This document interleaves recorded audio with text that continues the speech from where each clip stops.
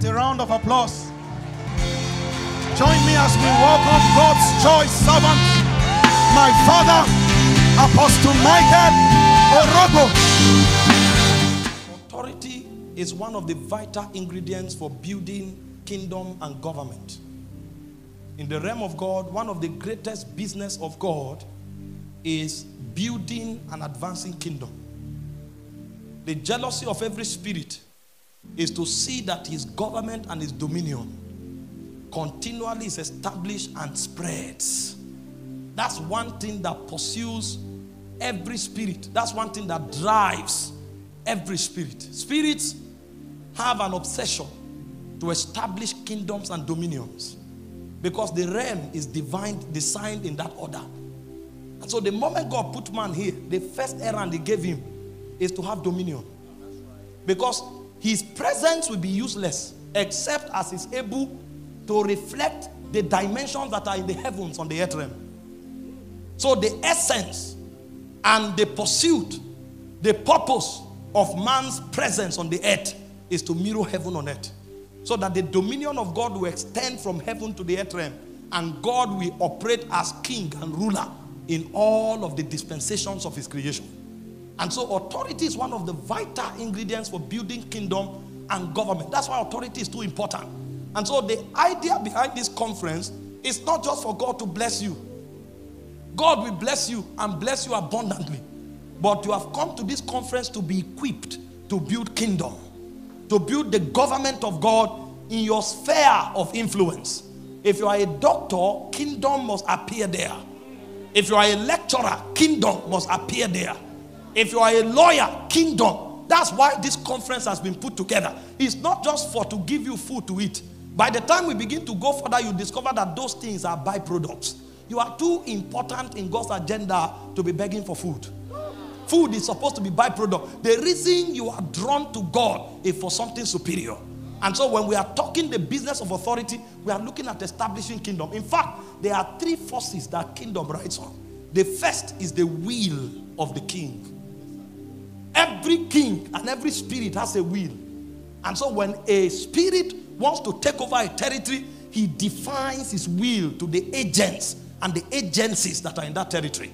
Their ability to articulate the will of that spirit is the first sign that they have been brought into the equation of kingdom. But it's not enough to know the will of a spirit. When you receive the will of that spirit, you must also understand how that spirit intends for his errand to be run. And that is where wisdom comes in. So the second ingredient for building kingdom after the will of God is the wisdom of God. There is a way God builds. He said, ensure that you build according to the patterns. You can't build by your own discretion. There is a pattern in the spirit that you must conform to. And so when a man wants to build kingdom, in addition to articulating the will of God, he must be brought into the equation of wisdom. He must tap from the frequencies of Zion and download it to the earth. Even the ark that Noah built, God told him, look at the dimensions. Don't be creative here. This thing you are about to do has its root in eternity past. It's older than humankind. It's a technology that is aged. You have come into something that is too old. You can't bring creativity into it. The patterns have been designed.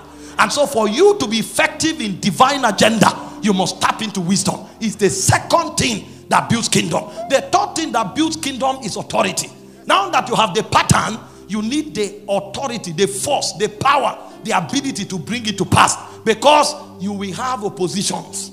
There are other functionaries that will negate what God wants to do. And so when you get God's wisdom, get God's will, then what caps it all is authority. In this conference, we want to look at the authority side of kingdom development. We want to look at the authority side of kingdom agenda. That is why we are gathered. Authority is the power of God delegated to man for man to represent God. Authority is a different type of power. There are many words for power in the realm of God. There is a word called alke. Alke is the word for power that people like governors, that's how they are defined. You know, there is a power that comes by influence. You know, Solomon was ordained king, but there was a time when he began to reign. Because there are many people who are kings, but they don't reign. There are many people who are apostles who don't have influence. There are many people who are governors who don't have influence. So when a man has influence to make things happen, it's called alke. The reason people gathered here is because Pastor Landry has alke. So the moment he put a conference together, everybody wants to come. It's not because it's called House on the Rock, it's because there is alke. That alke is why you don't have space anywhere. That's a dimension of power. There's another word for power called anagkazo. Anagkazo is compelling force. When you speak, your words become like law. It persuades and compel people. And so when a man has an alcazo, he, he's, he's a master, he's good at transactions. That kind of authority is what a marketer needs. A banker will use an agazo. Why a governor will use alke. Why a governor needs influence, a banker needs persuasion. So that when he talks, he will open an account. A car dealer needs an agazo. When he talks, you must buy the car. Even if you don't have money, you go and borrow and come and buy. You won't know why. It's when you go home, you say, Why did I do this? You were manipulated by an agazo. It's a dimension of power. There's another power called exousia. Exousia is positional authority. Exousia is what gives you the ability to give commandments and creatures obey. So when a man has exousia, if he talks, demons will respond. It's a type of power. There's another power called dunamis. That one is the ability to create change. So if I come into this meeting and I want to deal with demons, I don't need dunamis. I need exousia. But if I want to demolish cancer, I will need something that will move like electricity. It will enter you and scatter the cancer. So the power that creates change is called dunamis. There's another power called ischus.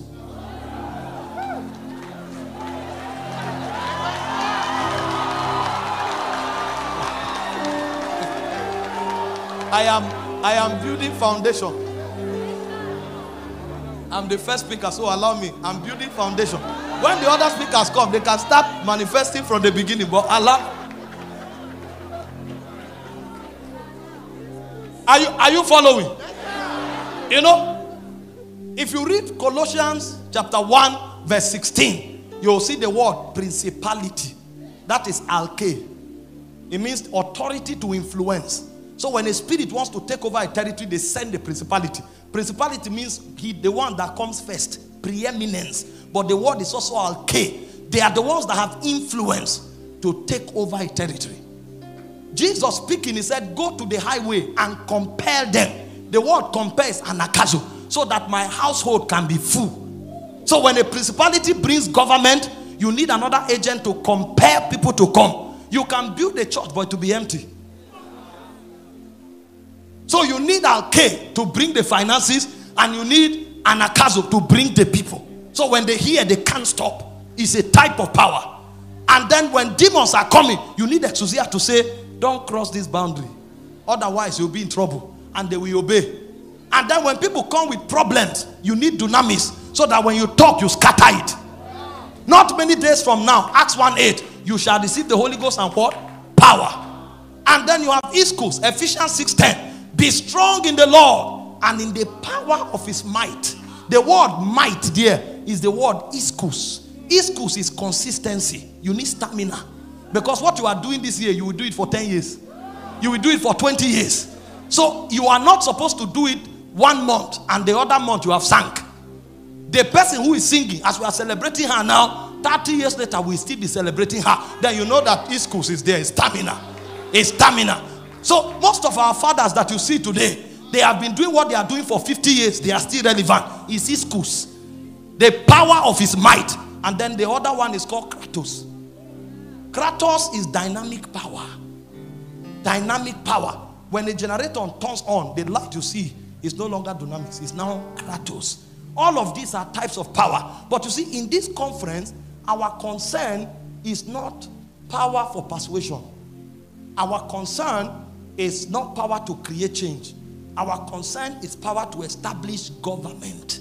Because when you are dealing with authority, you are dealing with alke, you are dealing with exousia, and you are dealing with ischus. And that's what I want to teach on in the next 15 to 20 minutes. Alke is influence. If a believer will bring the influence of God to a territory, he needs alke. The reason you will go to that bank and when you show up, they will know that Jesus has come is because you must have alke.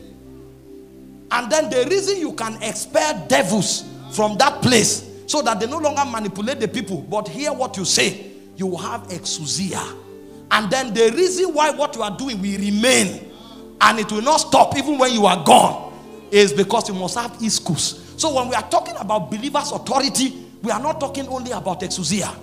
Believers' authority is a combination of three authorities. These are the three authorities that bring government. Alke, exousia, and ischus. Why alke brings influence, exousia expels devils, and ischus ensures longevity. So if we want the kingdom of God to subsist, then we must enter into the full scope of the believer's authority. There are those who have exousia, they don't have alke. So they are in one corner casting out devils. They become specialists of deliverance ministry. Anybody who has a demon finds them. And they remain in that cubicle for 30 years. It's not because God wants them to be small, but the governor cannot come under the government of Jesus. Meanwhile, he's casting out demons from there. And if he's the only person there, the kingdom won't advance. There are those who have this same exousia. They are in one corner.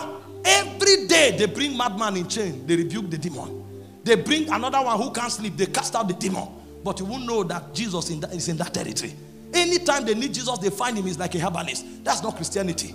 A believer is not just supposed to have authority to cast out devils. A believer should have authority to influence the governor, to influence the president, to influence the commissioner. But for that to happen, you must have beyond exousia. You must have a key. So that when you enter a city, even without invitation, the governor will find you. Because everybody needs you. There is a relevance that your association brings to them. There is a credibility that your association brings to them. Listen, we are talking kingdom. And I'm trying to show you something that will make you relevant and eternally relevant. This meeting we are having today, when the next minister comes tomorrow, the overflow may double. It's called Alke. Because the influence is higher. And because the influence is higher, it will affect more people. There is a minister that will say, I'm coming for this conference. You will see the governor of this state seated here. Who invited you? say, I feel like coming. You know what? It's called Alke. So when that person talks, it will affect government house. So we need to understand how authority works so that we grow in it. We must affect systems, we must affect spirits, and we must sustain the kingdom that we have established. That is when we are operating in the believer's authority. Now, how do you walk in these three dimensions of authority that is available to you? We begin with Alke. Alke is an authority that was encoded into you by birthright. A king is not appointed, a king is born. Alke is a DNA type of authority because this type of authority is about class of life, it's about class of existence. When man was created in Genesis chapter 1, verse 26 to 28, God said, Let us make man. Now, when God was creating other things, there was no need for consultation. The Bible said in Genesis chapter 1, verse 1, He said, In the beginning, God created the heavens and the earth. And He said, And the earth was void. Darkness was upon the face of the deep. And God said, Light be. Light appeared. And everything He wanted to do, He just gave commandment and they appeared. But when He came to man, you don't just talk. There is something that must be encoded into him. And so God went back to the studio of eternity. At that place, there's no angel. You know, when he was creating the foundation of the earth, the Bible said the sons of God sang into the earth. The angels were present, they were singing. This one has to be a secret code. And so the Father entered himself and he went to where only God can get to. And the Father was talking to the Spirit. And the Spirit was talking to the Word. And the Word was talking to the Father. Let us make man. And he didn't say, in my image. Now, there are many princes in Zion. Oh, I wish you know them. When Gabriel appears here, mysteries flow like a river. When Michael appears, the excellency of Michael defines God's power. The Bible said the angels excel in strength. I was teaching someone, I told them, in the book of Revelation, an angel came to earth the Bible says one of his foot covered the whole earth, another one covered the whole waters. And when he shouted, one third of all the birds died. One third of every bird died. That's the power and the excellency that the angelic realm carries. If God created us like principalities, that would have been good. But God went a bit higher. He didn't create us as principalities, He created us as a, a dimension beyond principalities. And I will show you what I mean from the scripture.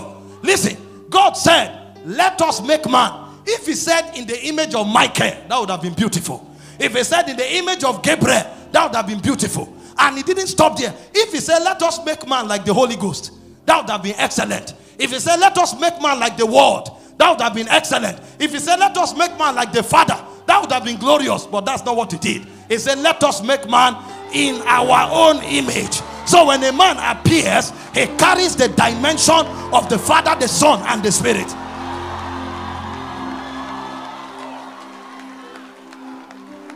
So I'm telling you first that authority is a birthright before it's even something you try to access. You were created as a prince to operate in the corridors of power. And that's why when he did that in Genesis 1:28, he said, Let them have dominion. The word dominion is called radah in Hebrew. In Greek, is called kuriotes. Kuriotes is a dignitary, a prince that has right to rule over a territory. That's why when he made man a dominion, he handed over earth to man. That means you are a legislator in the Zions of God. You are an authority holder in the realm of God. And so there was a prince that no longer had the territory. And when he saw that another Kuriotes have been born, he strode into the, the, the, the garden and he wanted to receive the scepter. Because although the guy was not mature, although the guy did not know the secrets of God, although the guy was naive, although the guy was innocent, but he had the scepter because he was born with authority. And so when the devil showed up, he took that authority from him. When he met Jesus on the Mount of Temptation, he said, Bow down to me. I will give you everything that you are seeing, for it has been delivered to me. Who delivered it? The Kuriotes from the garden. In fact, when Paul was ranking creatures in Colossians chapter 1, look at what Paul said from verse 15. I want to show you where we are first before we go into exousia. He said, He is the image, talking about Jesus, of the invincible God. The first verse is Him. Any man who comes into Christ, the first thing that happens to him is that he is restored to become a dominion. That's the first level because there's no revelation you can have and rebuke a spirit that is higher than you. is a violation of kingdom protocol. As we are seated here now, you are a citizen of Nigeria. There's no book you will read, there's no revelation you have that you can command the governor. It cannot happen. If you like, studying Harvard. The governor might be an illiterate, he may not have certificate, but you cannot use your intelligence to address him. You know why? That one is a place that he has come into. Is a right that is conferred on him. So, in the structure of God, before you exercise authority, they check your class. The reason we can't command God is because He is higher than us. But the reason we can address spirit is because we are dominions. That's the first authority of a believer. Listen, if you don't know that inherently you are a creature of authority, you will never make impact. Why do you think goats are not here? When you designed the flyer, did you say it's for men? You didn't say it's for men. You invited everything that is walking on the street. Why is it that only men came here? Because it is only our class that recognize what is there. And so only our class made it here. No matter how educated a donkey is, he can't have a seat here. You are not seated here because you are wearing a suit. You are seated here because you are a man. And so in this conference, you have legitimacy to participate because of your nature as a man. When we are talking business of authority, you are initiated into it because you are of the royal class. You are created a dominion. You lost it in Adam, but in Christ, it was restored to you. And so, even before you start having any revelation, you are already a creature of authority. Is the first layer of the believer's authority. Listen, when you walk out of this conference, there are some adjustments that you need to make. Some of us don't know that we are royalty. Revelation 1 6 said, He has made you kings and priests. You are a dominion. So, all this life of you walk, you can't iron your clothes, you are running everywhere, helter skelter. Stop. The, a consciousness must be born. I am a kuriotes. And so, when next you go out, you go out like a king. This is not pride, this is not arrogance, this is knowing who you are. This is knowing the class that you belong. Why do you think you pray? You pray because your order permits you to have fellowship with God. Why do you think God commits kingdom to you? It's because your order permits kingdom advancement. Why didn't Jesus give kingdom to donkeys? He rode on donkeys. Donkeys also served him. But when time came for kingdom, it's not a business of donkeys.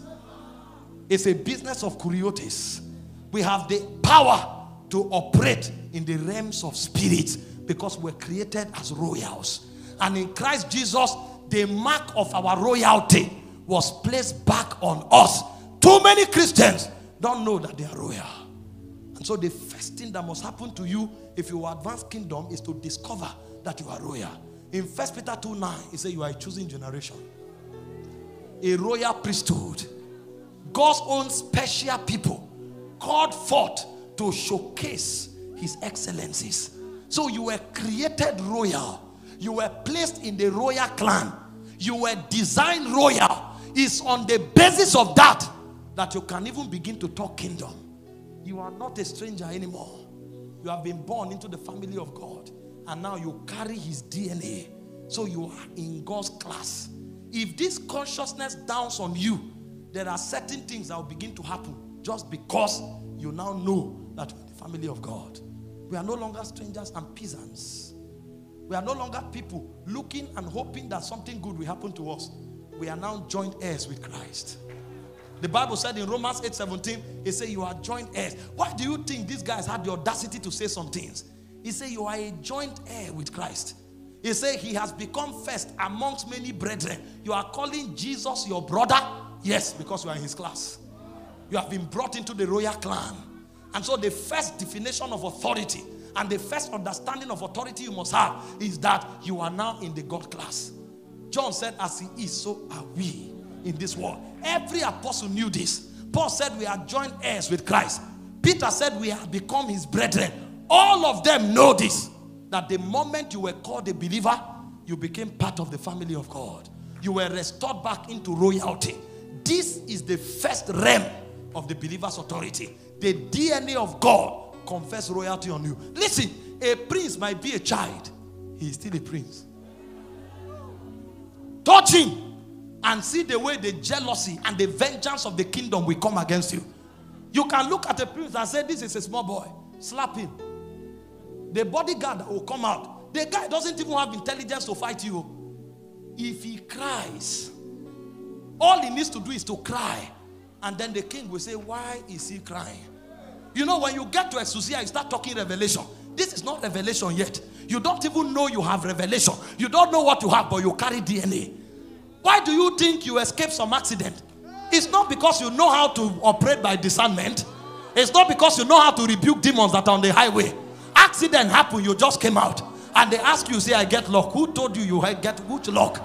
There are angels stationed to guard over those who are God's inheritance. There are angels stationed to preserve those who are part of God's God's company. See, the Bible calls, hear this, the Bible calls Michael the prince of Israel. Why do you think Israel cannot be defeated? Most of them don't even have revelation yet about who they are in Christ. But Michael is their prince because they are God's own people. There is an authority you have because you have God's DNA. But that's not where authority stops. That's the preamble. You now go further. You come into exousia. Exousia is authority based on revelation. It's a positional power, but you grow in it the more you know. And so when you come to the level of DNA, it's good. There are certain things you will enjoy, but it's not enough. You need to come to a point where you wield the scepter yourself. Because at the level of, of, of, of class, things can happen to you that are good. But when you come to the level of exousia, things don't happen to you. You make things happen. Because now you have the revelation of how things work. And this is the level that a man who will advance kingdom must come into. The Bible said in John chapter 1 from verse 11, he said, They came unto his own. His own knew him not. The key is to know. He said, But as many as knew him and received him, he said, To them, he gave the exousia to become the sons of God. He gave the authority to become. So there is a level of authority you wield when you start having certain revelations. And so a man who wants to operate exousia must have light of who he is. That means spiritual things. He must no longer be ignorant to spiritual things. He must know who he is. He must know what he has. He must know where he's placed. And he must know how to use what he has. So, the whole idea behind the teaching of the word of God, as far as authority is concerned, is to remove scales off your eyes so that you will know. Because this type of authority functions to the degree of light that you have. In John chapter 1, verse 1, from verse 1 to 4, he said, In the beginning was the Word. He said, The Word was with God, and the Word was God. He said, The same was with God in the beginning. All things were made by Him. Without Him was not anything made that was made. He said, In Him was life. And He said, The life was the light of men. The moment He became light, something started happening. He said, And that light shines in the darkness. So when you are doing a business of exousia, you must have revelation. If you don't have revelation, you cannot function in exousia. This is why Paul was teaching the church in Ephesus. He said, I pray that God may grant unto you the spirit of wisdom and revelation in the knowledge of Him. The eyes of your understanding being enlightened that you may know. Too many Christians don't know. And the way the devil checks is by bringing circumstances. And so the guy is traveling and somebody said something and he starts panicking. What do I do? They say he doesn't know. He dreams and sees somebody pursuing him with a knife. He wakes up and is panicking. They say he doesn't know. Ah, now we know. So the way the devil checks to see if you know you have exousia is by doing things around you. But when it comes to those who know, I slept, I dreamt, I woke up, somebody was pursuing me with a knife. I said, No way, I'm going back to that dream. We don't run, sir. We are the ones who chase demons.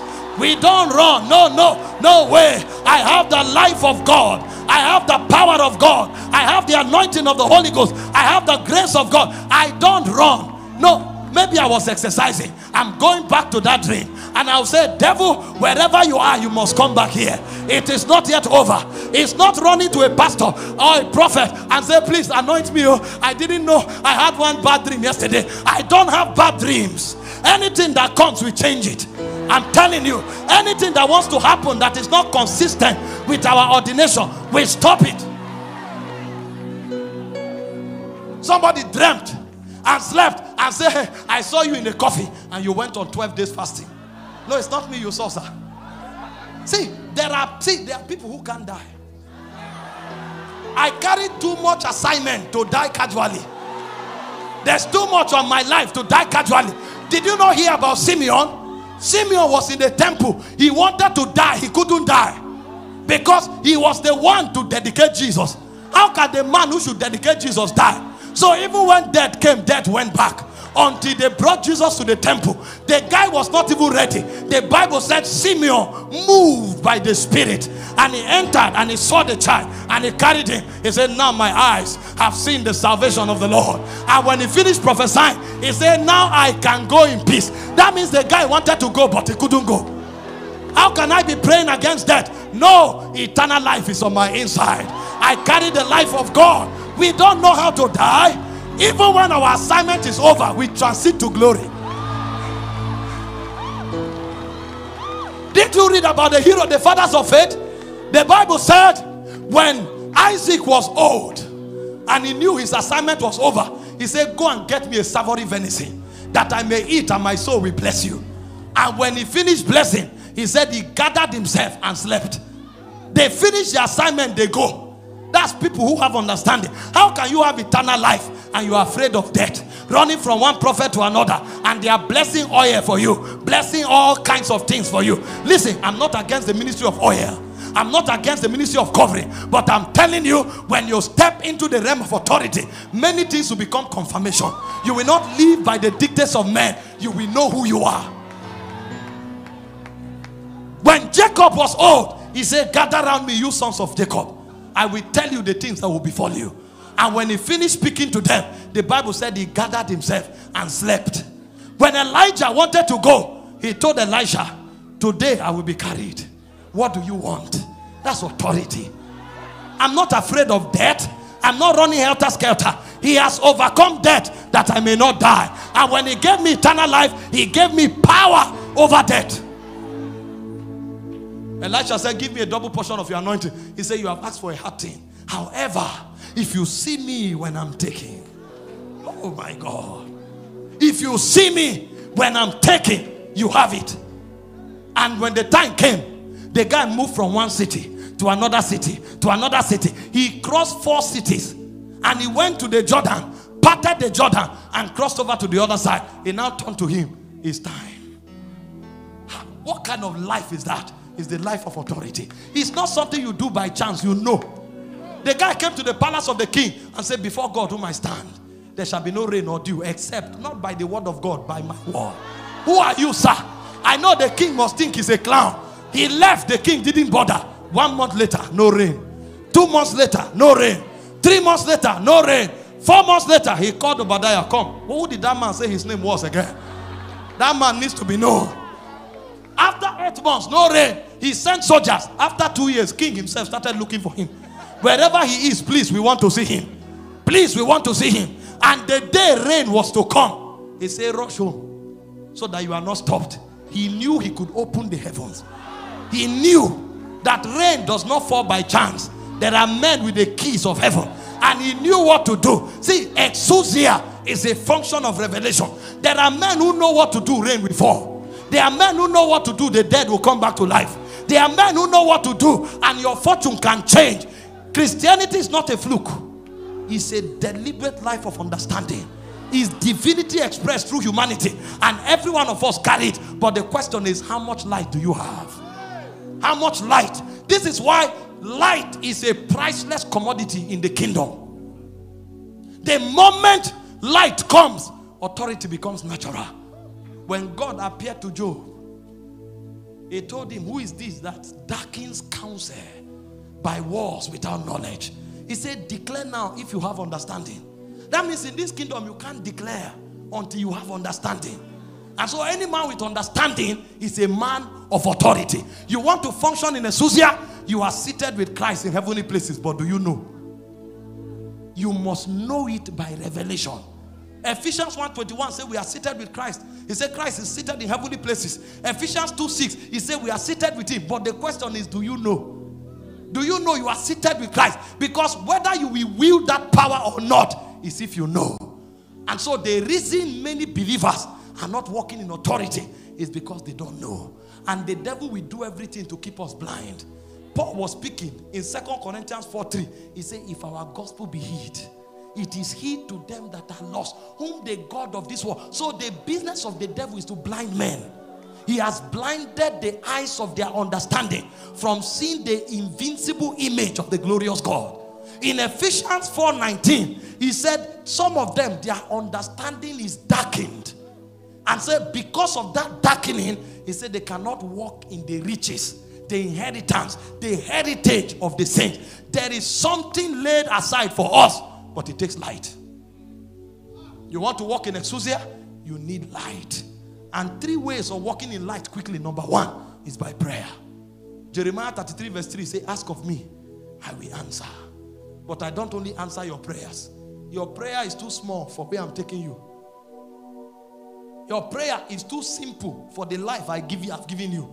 He said, When I answer you, he said, I will now show you great and mighty things that you know not of. So when you start praying, God starts showing. And it's as God starts showing that you start entering authority. Because the moment you see, you become. Second Corinthians 3:18 says, We all with unveiled faces, beholding as in a glass the image, the glory of the Lord. He said, We are changed. So if you can't see, you can't have. In Genesis chapter 13, verse 14, he had promised Abraham everything, but he needed to see. He said, Lift up your eyes. Now begin to look.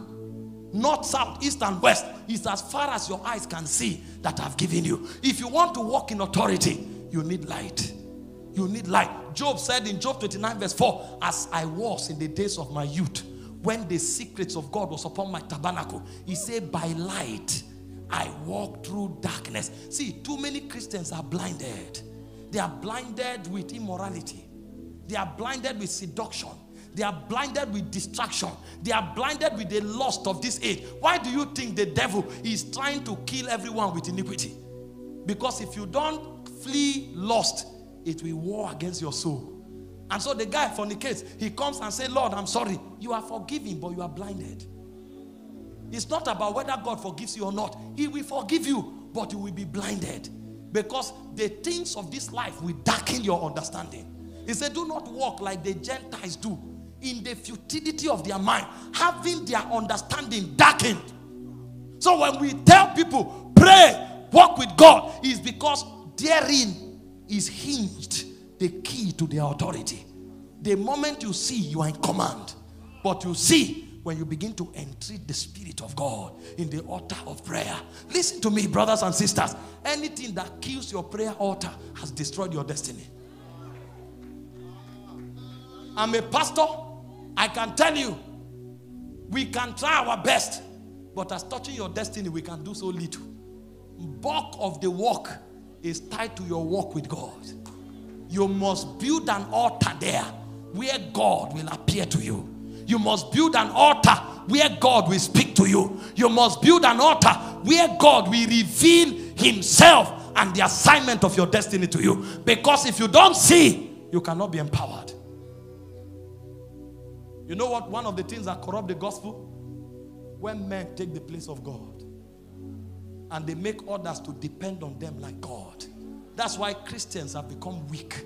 So people can't see the blueprint of their destiny. I have the audacity to say this because I heard Pastor Larry said that when you are walking in authority, you don't depend on your pastor. I say, oh, they are genuine men indeed. What have you seen since this year began? What have you seen? We can pour oil on your head. We can even empty a drum on you. But if you don't see, you can't wield power. You must see in order to wield power. That is where exousia is hinged. There's a position you have taken with Christ, but you must see it for yourself. I can't see it for you. You must see it for yourself. When I'm teaching you, is to help you see it. Or when you pray, you will see it. But by all means, you must see it. If you don't see it, you cannot become. This is what the apostles lived their lives doing. Do you know you have the life of God on your inside? And because you have the life of God, what cannot kill God cannot kill you. Do you know you have the anointing of the Holy Ghost on your life? And because you have that anointing, no devil, no matter what part of hell it comes from, can touch anything about your destiny. Have you become aware? The Bible said in Acts 10 38 how God anointed Jesus of Nazareth with the Holy Ghost and power in Acts chapter 1, verse 8, it now came to us. He said, Not many days from now, you too will be anointed with the Holy Ghost and power. So it's the same anointing on Jesus that is on your life. But have you seen it? Have you seen it? The same life of Jesus is what you have now. Have you seen it? Sometimes I read the Bible and I said, ah, Jesus did not even have flu once. And I have the same life he has, what don't I know? He didn't have flu once. What kind of thing is this? And I have his faith, I have his life, I have his anointing, I have his spirit. What is wrong? He said, Your understanding is darkened. The more you see, the more power you wield. And so when you go to the place of prayer, you want to see. This is why I tell people prayer is not gymnastic. Listen, when you pray, don't distract yourself. Oh. Because there's something wrong with people who say they are praying now. People are praying, they are carrying chairs, jumping up and down, and they see nothing. You pray for five years, your life is not moving.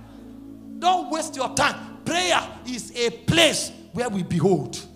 And as we behold, we keep moving. We keep moving. We keep moving. Because the journey is from glory to glory.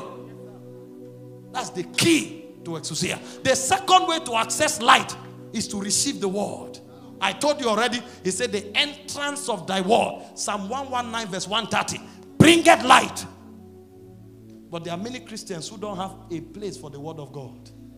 Check their phone 90 songs, 88 is secular.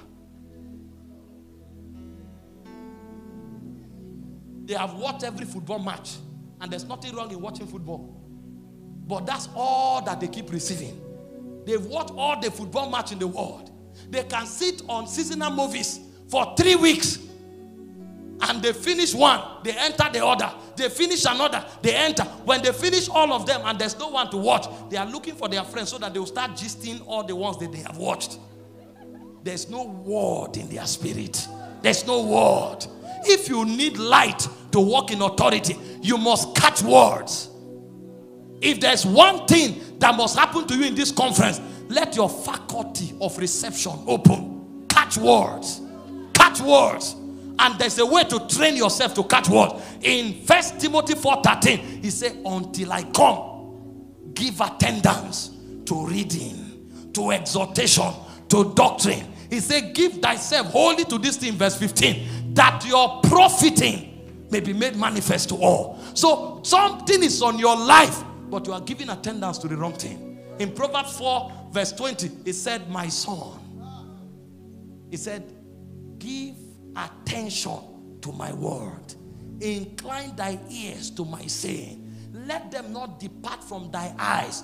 Put them in the midst of thy heart. He said, They are life to them that find them, and health to all their flesh. Guard your heart with all diligence. Out of it are the issues of life. You don't know what you carry. Every time you beg, you break the heart of God. Every time we line up for healing, God weeps. Most of the miracle services we organize, some of them bring heartache to God. These are people that should go into all the worlds and demonstrate my power. They are the ones lining up for healing. He said, These signs shall follow them that believe. In my name shall they cast out devils. They cast out devils. How come the people who should cast out devils are the ones from whom devils are being cast out? He said, They shall lay hands on the sick, the sick shall recover. How come people who should lay hands on the sick are the ones hands have been laid on? He said, Even if they drink any deadly thing, Jesus himself called it deadly. How can you call something deadly and you say, If we drink it, it will not hurt? Because he knows what he put here. He said, You were fearfully and wonderfully made. When God created you, God Himself marveled. Which one have I created this time? I thought when I created Gabriel, I finished. I thought when I created Michael, I finished. Which creature is this one? Because this one He created comes to mirror God. He's not just a messenger, He's one that mirrors God. How come the carrier of God has become beggarly and frustrated? Because they know not, neither will they understand. He said, They walk on in darkness. I have said, Ye are gods, because you are the children of the Most High. He said, But you will fall like one of the princes. Why? Not because the devil is strong, because they know not. Listen, your business cannot fail. There's something on your hand. I'm not saying a prophet should come to the shop. I'm telling you, there is something on your hand. There is something that you carry. See, enter into that office, enter into that business, lock the door. Makakota. Ragabadagaska, Beregadia, Baratoa. As you pray for a while, heaven will come there. The Holy Ghost lives on your inside. You are God's address, you are God's embassy, you are God's dwelling. How can you carry God into your family and there's attack there? How can you carry God into your business and there's attack there because you are not aware? Listen, I tell myself when you show up, God shows up. When you speak, God speak. When you touch, God touch. Why? Because it dwells on my inside. I'm full of God. He said, This is the mystery of the age. Christ in you, the hope of glory. So God planted Himself on your inside so that you can manifest God. But are you aware? Authority of a believer.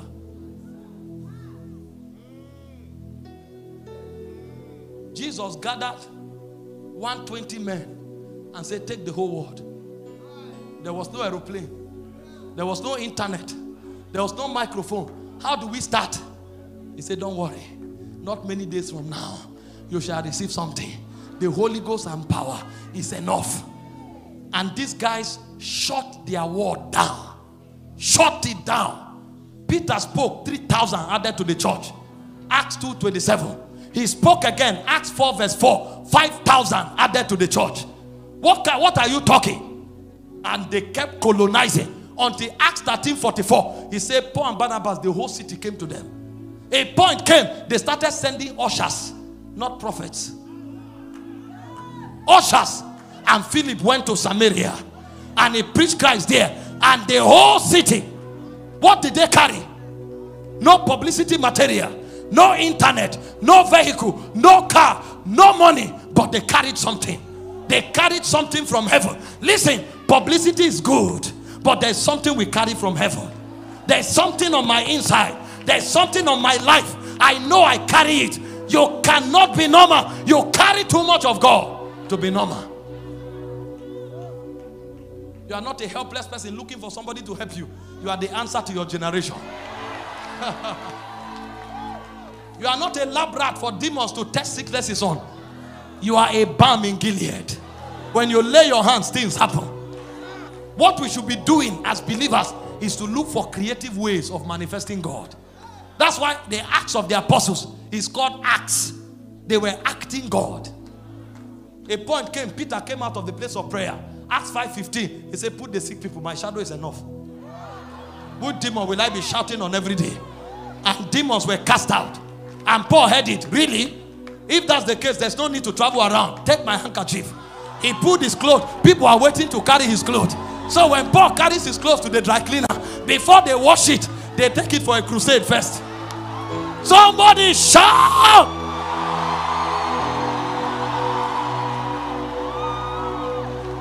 I'm telling you, if you know this, you will go to a dry cleaner and say, Wash this suit. He say, Ah, it's Martha's gown. No. Give me the gown. Please beg her that they will bring it next tomorrow. Let the gown sleep in my house. I'm not talking idolatry. I'm talking you carry something the world know. This is not among Christians, so oh. it's among unbelievers. They know that if your gown enters their family, no demon will remain there. How then can death come to your home? How then can sickness survive in your home? I decree over somebody every scale on your eyes goes out now.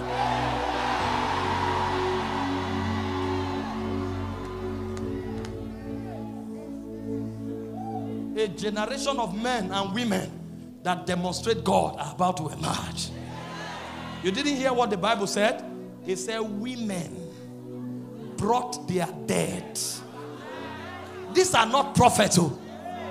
These are not apostles. Ordinary women who were, con- you know, that word, women were not even permitted to be leaders. That's why I call them ordinary. That word but they knew something that when they shabak, the grave will open. Pakakota, the dead rises up. And it was normal. So the women ministry is not about dancing and praying for our husbands only. It's a ministry of raising the dead. It's the authority of the believer. Tell yourself, my life is a wonder. Isaiah said, I and the children that the Lord has given to me, we are for signs and we are for wonders. I prophesy over someone from this conference, you become a sign and a wonder.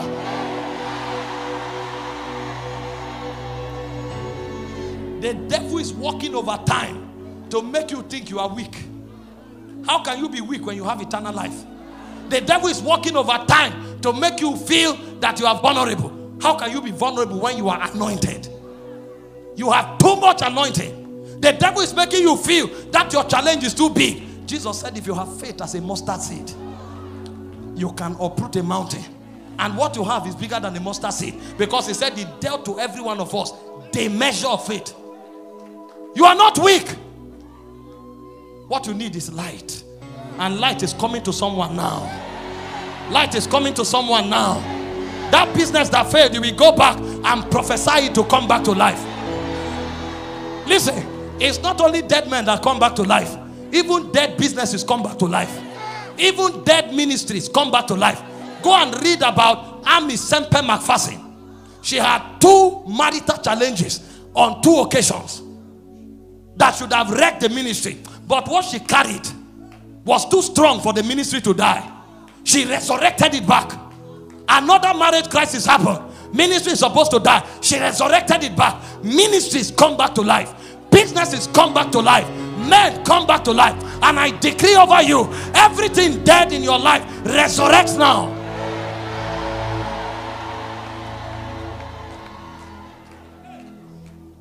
That's why God fortified you. You are not a non-entity. You are not a charlatan. Listen, the platform you need is not this one. Every challenge of your life is a platform. Go back and begin to manifest. I'm telling you, do it. You will be shocked what God will do. It will humble you and you will start crying. Did I carry all of this all this Why? The devil, your time is over here. And he will know he will never come again. Lift your hands toward heaven. We are out of time.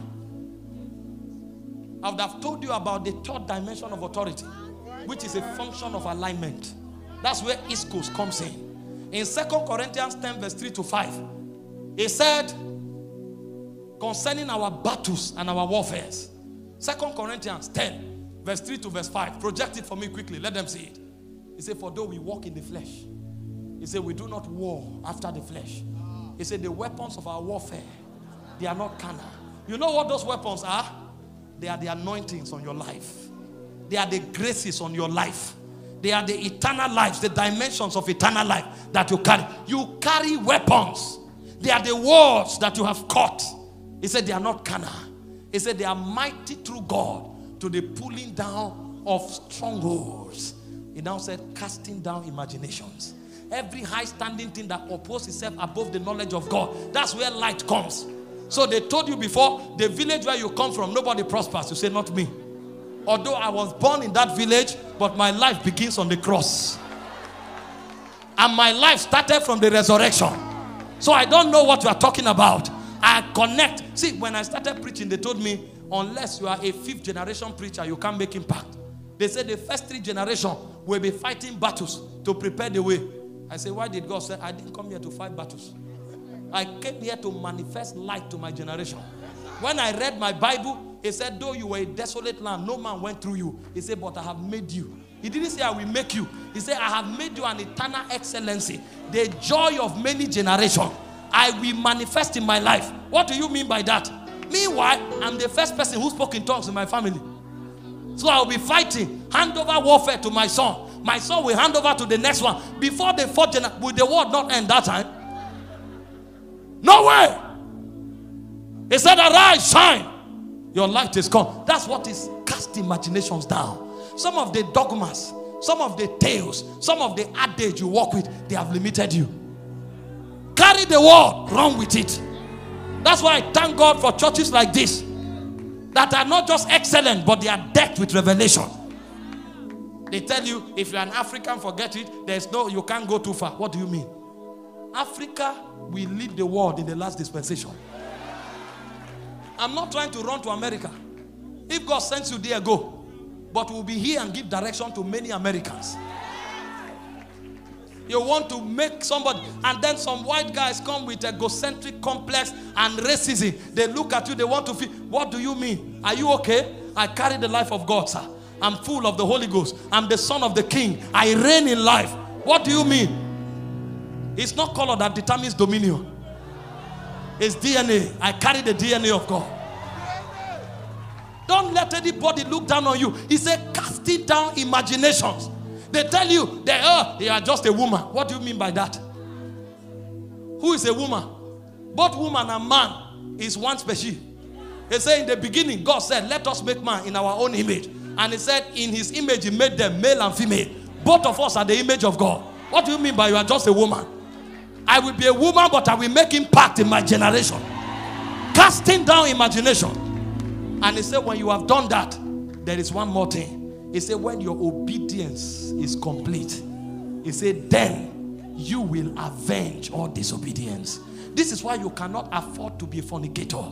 You cannot afford to be a liar. You cannot afford to be rude. You cannot afford to live in iniquity. Because after revelation comes alignment. After revelation comes obedience. After revelation comes consecration. Don't only talk Bible, live Bible. They say in a great house, there are many vessels. He says some is unto honor, some is unto dishonor. He said, if a man purges himself, there is a cleansing requirement, there's an obedience requirement, and this is where many of us err. And so the devil may know you know all the scriptures that defines your authority, but he will come and punctuate you with iniquity. And then you do that thing behind closed door. You off the light. It's men that may not see you, but in the spirit, you are naked. There are too many cloud of witnesses watching every of your action. And so if you know that, anytime the devil comes, you tell him, this body belongs to God. There's only one operating system here, is the Holy Spirit. I will not allow anger. I will not allow malice. I will not allow lying. See, the devil is smart. Don't make any mistakes about it. You are going somewhere to fulfill destiny. They bring somebody's case and you join them and gossip. Don't do that. It's murder. When they are talking about somebody, my only responsibility is to love and pray for them.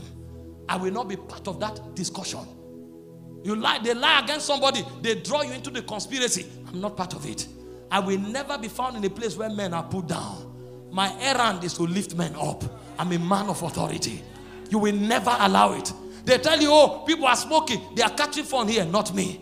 We are ruled by the Holy Spirit because we are creatures of authority. If your revelation is not backed up with consecration, there will be no power. A believer is fortified with too much authority, but it takes a knowing of your DNA. It takes revelation of who you are and what you have in God, and it takes obedience to the Holy Spirit to walk in the believer's authority. And when you enter the believer's authority, you rule over spirits, you rule over circumstances, you rule over systems and territories, and you rule in the affairs of men. These are the four scope of the believer's authority but I don't have time to get into it. Can I pray for someone tonight?